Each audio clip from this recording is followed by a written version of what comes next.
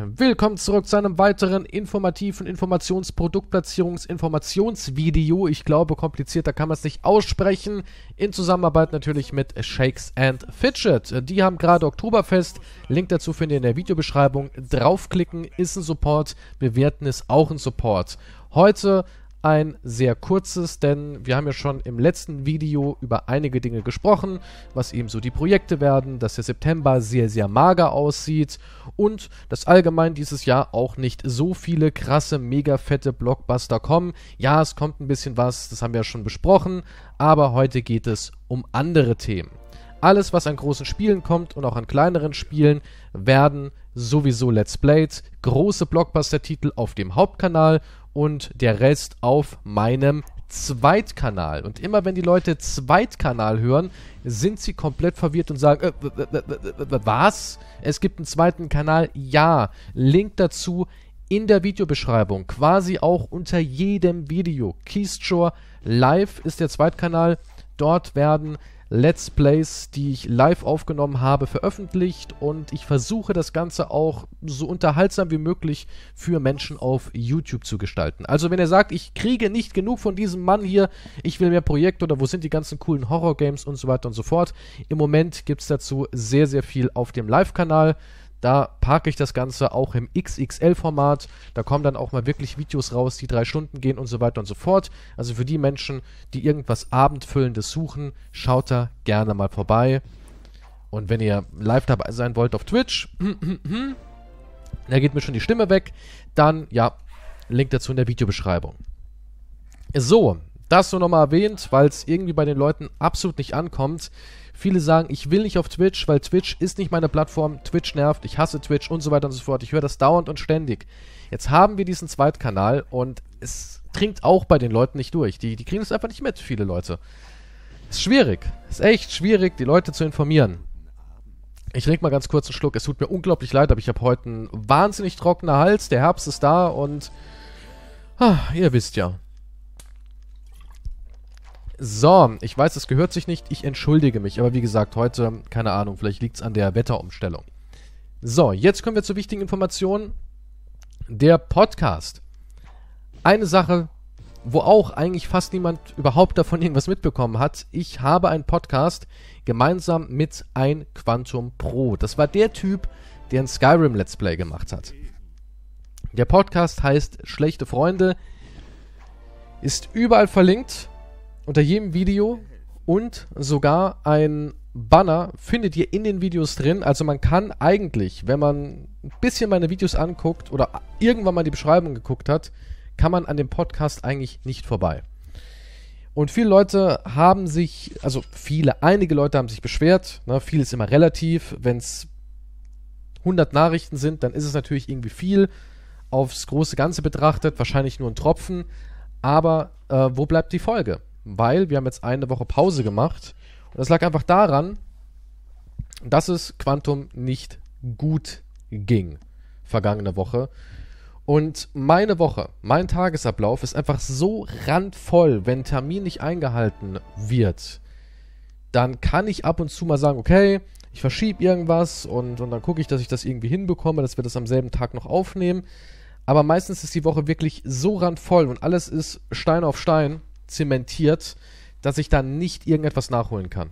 Besonders jetzt, es hat sich alles verändert. Der Podcast ist auch nicht, wie die meisten denken, eine Stunde in der Woche, sondern da steckt natürlich wie immer auch mehr dahinter, ja. Es ist einfach so. Man denkt immer so, naja, da hat er einen Zweitkanal, da macht er halt zwei, drei Thumbnails, lädt das alles hoch, schneidet ein bisschen rum, macht eine Videobeschreibung, überlegt sich noch einen fetzigen Titel, guckt halt, dass das Thumbnail auch irgendwie ein bisschen catchig ist, guckt, dass eine Playlist läuft, guckt, dass alles einsortiert ist, dass die Tags immer stimmen und dass die ganzen Verlinkungen richtig sind und auf einmal merkt man, oh, man sitzt ja da auch schon wieder zwei Stunden jeden Tag dran. So ist es halt eben nun mal. Das ist jetzt keine, keine Beschwerde, sondern es ist einfach Fakt. Ja, ich habe sehr, sehr wenig Zeit. Leider. Und ich stecke alles, wirklich alles, was ich an Zeit habe, in die YouTube-Maschine, in die Twitch-Maschine und eben auch in die Podcast-Maschine.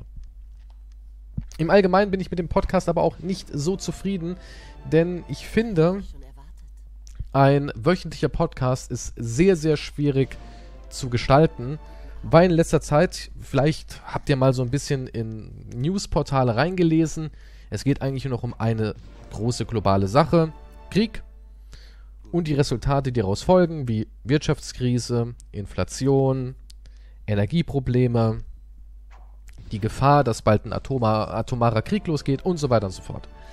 Es kommen also wirklich nur negative Sachen auf uns zugerollt. Die positiven Dinge, das ist einfach so, die sind so marginal klein und es passiert halt auch einfach nicht mehr irgendwie so witziger Bullshit, ja.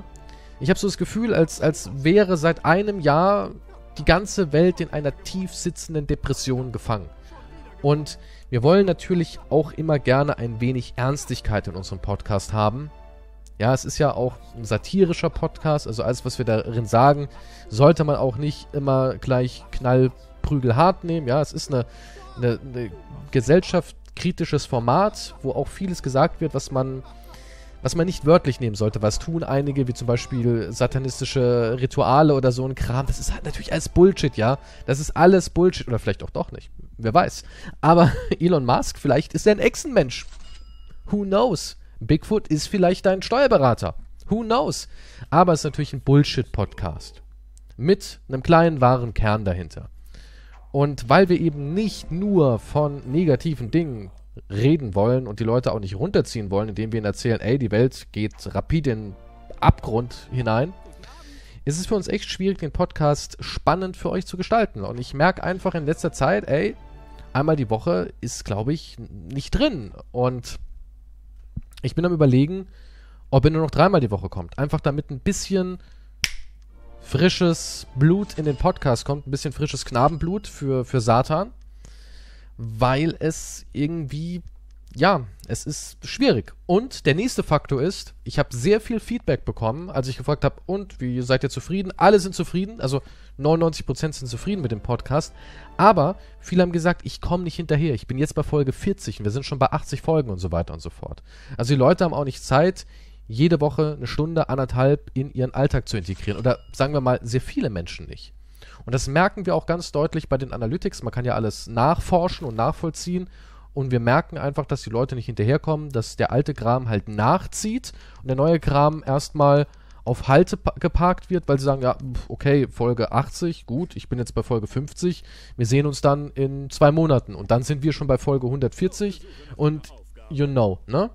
Und dementsprechend bin ich am überlegen, ob wir das nur dreimal im Monat machen, den Podcast, und eine Folge weil wir den Podcast irgendwie auch ein bisschen finanzieren müssen. Er bleibt natürlich weiterhin kostenlos, ja. Er bleibt natürlich weiterhin für jedermann kostenlos. Aber wir überlegen, ob wir eine kleine Sonderfolge, weil es gibt Leute, die haben auf ähm, Steady Monatsbeitrag hinterlegt und unterstützen den Podcast und alles. Und wir wollen die natürlich auch irgendwie verwöhnen. Aber als ich den Podcast angefangen habe, wusste ich nicht, dass ich in der nahen Zukunft Hausbesitzer bin, wo ganz viele Probleme auf mich zukommen. Und ich wusste auch nicht, dass ich einen kleinen Sohnemann habe. Ja, das sind alles Dinge, die wusste ich bei Erstellung des Podcasts eben noch nicht, weil das Ding läuft jetzt auch schon wieder bald zwei Jahre. Und so ist es eben. Ich kann nicht in die Zukunft gucken. Ich habe keine Kristallkugel. Ich kann euch nicht sagen, was morgen passiert. Ja, alles, was ich sage, kann morgen schon wieder an Bedeutung verlieren, weil irgendwas passiert. Ja, das hat nichts damit zu tun, dass man ein Mensch ist, der nicht sein Wort hält oder oh, du veränderst dich und bla bla bla. Das Leben ist natürlich keine feste Konstante, sondern es passiert was, du reagierst, alles ist anders. Hm? Und wir wollen natürlich auch haben, dass die Leute auf Steady irgendwas bekommen und wir sind da schon ewig am Rumüberlegen, aber ich sage euch, wie es ist, der Podcast blockiert fast den ganzen Sonntag. Also der Podcast geht von 11 meistens bis 15, 16 Uhr. Und das sind zwar nur 5 Stunden von meinem Sonntag, aber ihr wisst ja, wie es ist. Ne? Man, man kommt hierher, ich mache ein bisschen Kram, dann nehme ich den Podcast auf, dann ist 16, 17 Uhr. Um 20 Uhr ist schon wieder der Livestream. Ich habe drei Stunden dazwischen, die kann ich irgendwie noch mit meiner Family nutzen. Der Sonntag ist eigentlich Podcast, ja. Er ist komplett blockiert durch den Podcast. Und damit wir das irgendwie alles hinbekommen, haben wir uns überlegt, vielleicht eine Bonusfolge dann für die Steady-Leute und das Ganze wirklich noch dreimal die Woche zu machen, damit der Podcast auch nicht irgendwie an Dynamik verliert, damit man auch selbst die Lust dabei behält, weil es ist halt echt schwierig, wenn man kein fix themenbezogener Podcast ist. Wir sind ja auch so ein Alles ist drin Podcast Und das ist echt schwierig. Das ist wie mit Gaming. Wenn du ein Minecraft-Kanal bist und du machst immer nur Minecraft, die Leute wissen, Keystrow, Minecraft, dann ist es viel, viel einfacher, als wenn du ein Ich spiele einfach alles, worauf ich Bock habe, Kanal bist. Weil irgendwann kommt eine Flaute, die du nicht einlenken kannst. Ich kann im Moment nichts dafür, dass im September so gut wie keine Games kommen. Ich kann nichts dafür, dass alles aufs nächste Jahr schon wieder verschoben wurde. Aber ich muss mit den Konsequenzen leben. Und genauso ist es mit Podcast. Wenn die ganzen Nachrichten und das, das, das Weltbild mit Krieg dominiert ist und wir wollen darüber nicht reden oder dass die Queen gestorben ist, ist schwierig. Und wenn man dann schon seine Lieblingsfilme erzählt hat, seine Lieblingsserien erzählt hat, seine Lieblingscomics erzählt hat, dann kommt man irgendwann über die ganzen Monate hinweg in so eine Schleife hinein.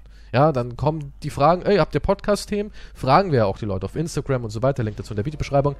Ähm, dann kommt auch immer nur dasselbe bei rum. Was ist euer Lieblingsessen? Was ist euer Lieblingsfilm? Welche Serien könnt ihr mir empfehlen? Was zockt ihr am liebsten? Was ist euer Lieblingsgame? Hat ein Spiel euer Leben verändert? Hat ein Film euer Leben verändert? Welche Romane lest ihr? Und so weiter und so fort. Habt ihr mal Magic gespielt? Das ist alles schon irgendeiner Form beantwortet und thematisiert worden.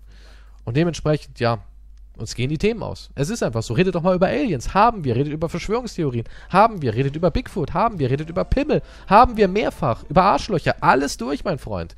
Wir haben die Arschlöcher von, von innen, von außen, von oben, von unten komplett durchthematisiert. Wenn sich einer mit den kleinen Dingern auskennt, dann wir. Ja.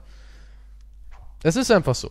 Ja, wenn wir jetzt irgendein so Podcast wären, der nur über Finanzen oder sowas diskutiert, dann hätte man auch irgendwie immer ein Thema. Wenn wir ein Podcast wären, der nur über was kam neu auf Netflix äh, diskutiert, dann hätten wir immer ein Thema. Aber so sind wir halt nicht. Wir sind, ja, alles und das macht es dann irgendwie auch kaputt. Auf der einen Seite hast du alle Optionen offen, auf der anderen Seite, wenn dann so ein Engpass kommt, verschließen sich auf einmal alle Pforten irgendwie. Ganz bizarr. So ist es auch beim Gaming. Auf der einen Seite müsste man meinen, ey, so ein Kanal wie du, Kies, der hat doch unendlich viel Kram.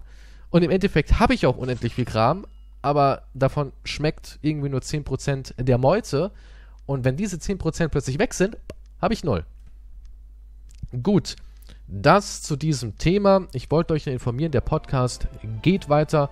Aber ich bin nicht so wirklich zufrieden und ich würde mir freuen, wenn ihr jetzt euer Feedback mal in die Kommentare reinhaut zum Podcast, eure Gedanken und nicht irgendwie so eine oberflächliche Frage wieder wie, ja, dann redet doch über Filme oder so ein Quark, sondern wirklich mal so ein bisschen in euch kehren und eure ehrliche Meinung rausrücken, ob ihr das gut findet, ob ihr es besser findet. Lieber ein bisschen weniger Masse, dafür eine Masse mit mehr Qualität, ob ihr euch ähm, dafür begeistern könnt und so weiter und so fort. Das wäre mal echt toll, weil Feedback ist immer wichtig. Ja, und auch wenn ihr immer denkt, oder viele denken, ey, der liest das alles nicht und ihm geht doch eh alles an seinem reichen Arsch vorbei.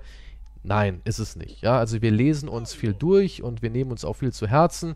Nur wir kommunizieren das immer vielleicht nicht so, dass man das richtig nachvollziehen kann. Ansonsten kriege ich auch ganz viele Fragen zu Quantum. Das will ich jetzt auch noch ganz schnell hier reindrücken. Was ist mit Quantum? Wo ist Quantum? Und so weiter und so fort. All diese Fragen kann ich nicht beantworten, weil es seine Sache ist. Ja, er streamt nicht mehr, ist nicht mehr auf YouTube. Wieso, weshalb, warum?